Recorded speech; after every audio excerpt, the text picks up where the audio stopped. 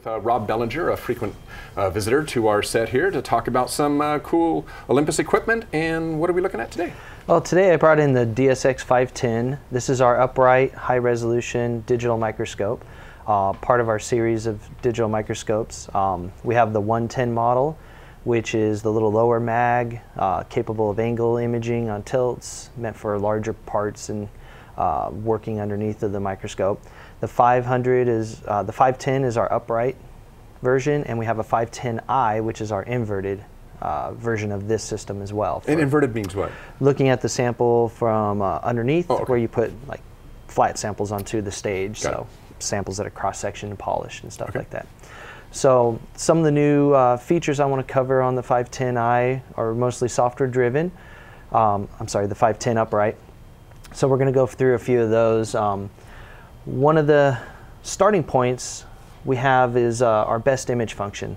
Uh, if you go into the screen here, you look at our best image function before, this was always um, capable of showing the different imaging techniques in the system. So users could walk up to the system, hit a button, and it will show several different images of their sample at different lighting effects, different imaging types like bright field or dark field or DIC, or our unique mix function where we're mixing bright field and dark field. And this would this So- would come up and kind of show a It sample would show of. this, Okay. yeah, the sample images, and they could select which one they prefer to use. What's what's changed now in the new software is the ability to save all of these tiled images, so you can customize these array of images to capture all the different pictures of your sample at different image techniques. So, say you have a sample area that you want to always capture dark field, bright field, an HDR image, and a DIC image Okay. rather than having to go out each time and capture those individually, you could have it tile these up and just hit the save button on the screen. And it'll save all those images into a format. File so, format so then when you come back to measure, it's going to it's going to take each of those different lighting conditions into effect. i- into effect. So, so you're saying in the past you would have to select, let's say, bright field, go out and capture an Capture image, it. come back, say dark field, go, and, and now it'll just you line up the type you want, and it'll you just line up the types out. you want, it'll capture them all automatically for you, and you save them out so you can have one area of your sample, have multiple different imaging techniques on it, and save those in one shot. Okay. So again, you can still select the imaging technique you want and hit apply, and it'll go out to the microscope and apply that imaging technique. So this is just simplified for user interaction. They don't have to go in and select this mix mode, select the brightness, select the exposure rate. They just look at the best image, and it puts it right on the screen for them. Okay. One of the other new features is, you know, imaging out of the field of view. Being able to get an area on your sample quickly to be able to either use that as the picture you want to take or use that as a guide function to know where you're at at higher mags on your image, what we call map function. If we go into our stitching here on the screen, we can choose live panorama now. And in the past, with our 2D simple image, you were able to take and touch the screen and move around with your finger. You can still do that technique and just stitch together whatever area you want. But now we can use an auto function, and the auto function allows you to select a panorama area. So we can select from 3 by 3 up to 21 by 21.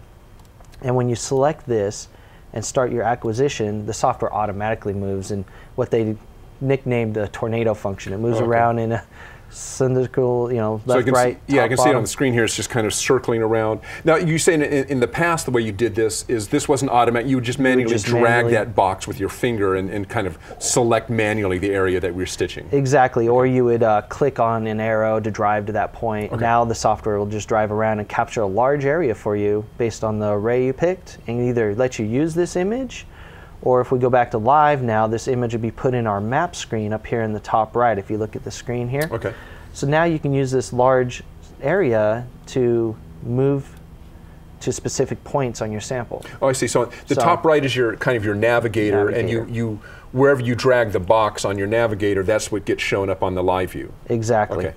So if we go back to live and we want to center onto a point, we can double click like that on the screen and we can change our magnification up. If I select a higher magnification lens, you can now see in the map screen a very small area, Ah, a okay. region of interest. So what's great about the map screen is you always know roughly where you're at on your sample. And, In- you need your to- field of view, yeah. Within your field of view. And you, if you need to move to another point quickly, you can just drag the box and move to another point quickly.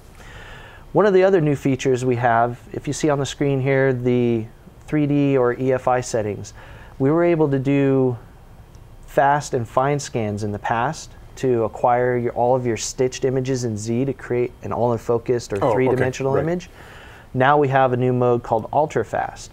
They've taken the same algorithm that they use for fine mode capture, but they capture in ultra fast. This means there's no pause in the scan. It just scans from top to bottom in a continuous mode, much, much faster, but still rendering all of the high quality three dimensional image data and height information. Right, so you get you get it uh, you, you get it in fo- basically in, it increases your your depth of field. I mean, from ma- infinite depth of field, basically. I mean, from yeah, top as to bottom, much right? as okay. much as this travel of the system has, Okay. pretty much, and the working distance of your lens. But what you want to do on an image like this, where you see out of focus information and in focus information, you want to gather it all together. Maybe you even want to render the 3D image, and you want to measure the height of this or the volume of this. So you got to capture that information.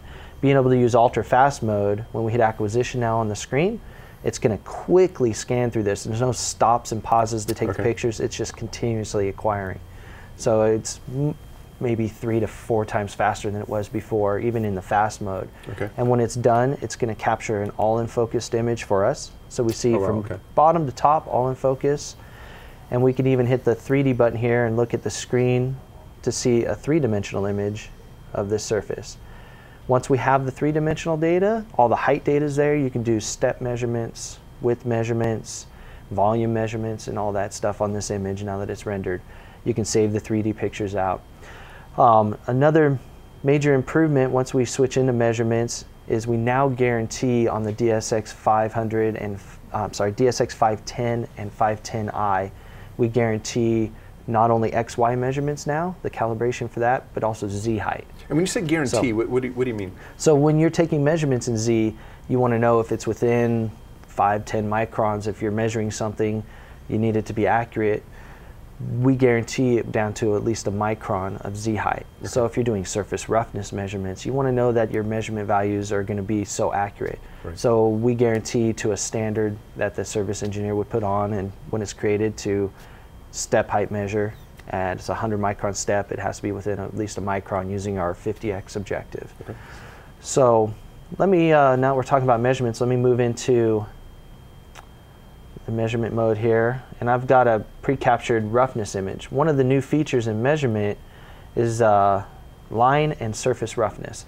Before, since we weren't calibrating and guaranteeing Z height, we didn't do line or surface roughness. Now that we are, we can accurately and repeatably measure the surface detailed roughness of metallurgical samples, surfaces of plastics, materials, casted materials, things like that that they need to know is of a certain roughness value. Right.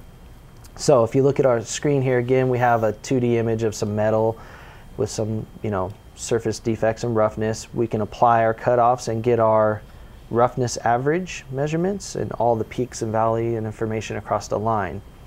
We also have surface roughness.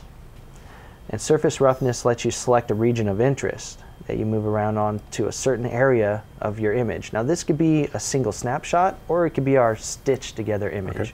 You have a big large area and select a, an area on the surface here to capture roughness data.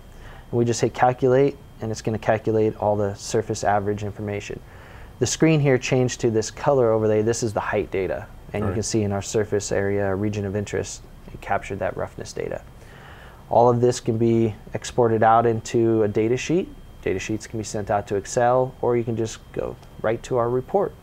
And what's the what's the importance of, of the, the, the line roughness and the surface roughness measurements? It's it's mostly when material has to be of a certain texture, Okay. or when they're trying to polish it to a certain smoothness. It could be surfaces that bearings run over, and those surfaces have to have a certain amount of roughness to be able to hold the the uh, lubrication. Right.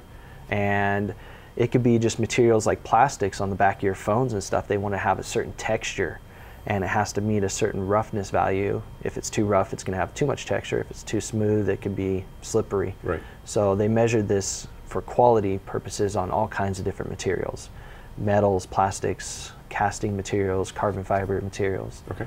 So with this system, being able to quickly grab an image using your best function, it grabs all the height data and just scribe a line right across. It's non-contact, non-destructive, um, and real quick for image 3D capture. And then as you show, it, it uh, exports uh, to a report file. Yeah, everything goes out to report. This can be saved out as a Word type document or a PDF document.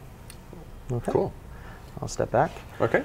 Uh, Rob, and, and I think you said um, uh, what, in, what is industries mostly? So the 510, the upright uh, digital scope will range from, you know, materials, circuits, semiconductors, stuff that needs higher magnification.